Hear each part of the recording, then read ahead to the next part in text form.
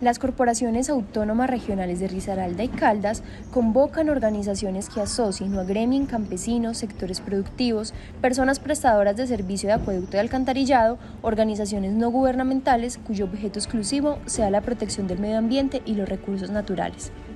Estas organizaciones deben desarrollar sus actividades en la cuenca hidrográfica del río Campo Alegre, en jurisdicción de los municipios de Villa María, Chinchiná, Palestina, Santa Rosa de Cabal, Dos Quebradas, Pereira y Marsella, que aspiren a participar en la elección de sus representantes para la conformación del Consejo de Cuenca y así hacer llegar los documentos requeridos. Este 6 de junio será la elección de todos los dignatarios que van a ser parte de esa importante Organización territorial,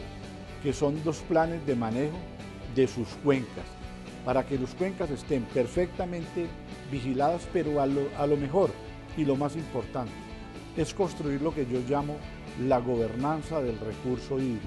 cuando todos los ciudadanos interactúan en la construcción no solo de sus metas de control, de seguimiento, sino que tendrán la posibilidad de decidir a través de los planes de ordenamiento territorial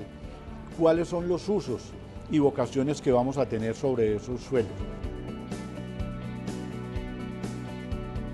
El proceso de elección constará de un acta cuya copia reposará en la documentación del Plan de Ordenación y Manejo de la Cuenca Hidrográfica del Río Campo Alegre y otros directos al Cauca. Es muy importante invitar a la gente de Santa Rosa de Cabal, a la gente de Quebradas y todos los que tienen que ver con la cuenca de Campo Alegre. Hasta este 13 de mayo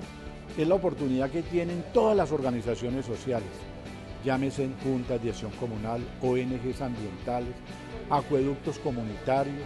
a campesinos agremiados en cualquiera de los ítems que tienen que ver con su cuenca. El proceso de elección se hará a través del voto entre los mismos miembros de los grupos de actores relacionados.